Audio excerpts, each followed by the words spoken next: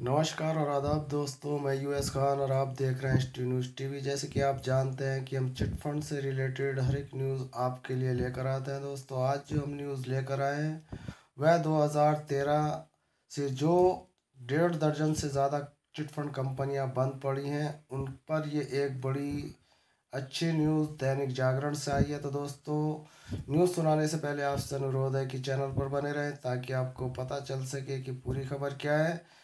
तो दोस्तों, आपको बता दें कि वर्ष 2013 में गोंडा नगर थाना और महागामा थाना के करीब डेढ़ दर्जन चिटफंड कंपनियों के खिलाफ धोखाधड़ी का मामला दर्ज किया गया था। बाद में हाई कोर्ट के निर्देश पर उक्त मामले की जाँच के लिए सीबीआई को लगाम लगाया गया था। यह, सॉरी दोस्तों, सीबीआई को यहाँ पर लगाया गया था। गोंडा नगर थाना क्षेत्र में chit fund company sunlight sunshine rose valley Sai finance अपना परिवार, सरीखे चिटफंड कंपनियों ने अपने एजेंटों के माध्यम से निवेशकों को पैसे दोगुने करने का लालच देकर करोड़ों का चूना लगाया था। बाद में इस मामले को तत्कालीन उपायुक्त की ओर से कंपनियों के खिलाफ प्राथमिकता दर्ज कराई गई थी। 2017 में हाई कोर्ट के निर्देश पर पूरे मामले को सीबीआई को सौंप दिया गया था। बावजूद इसके सीबीआई ने इन चार वर्षों में किसी नतीजे पर नहीं पहुँच पाई। इसमें कई सफ़ेद पोज भी के नाम भी सामने आए थे, लेकिन वे सभी सीबीआई की गिरफ्त से दूर हैं।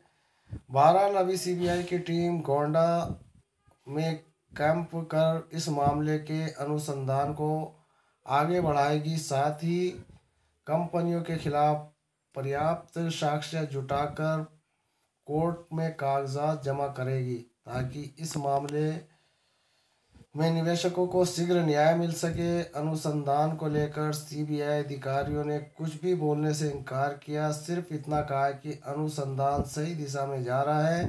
सूत्रों से मिली जानकारी के अनुसार दो दिनों में करीब एक दर्जन लोगों के बयान कलमबंद किए गए। वहीं निवेशकों के दावे से संबंधित कागजातों का सत्यापन किया गया है।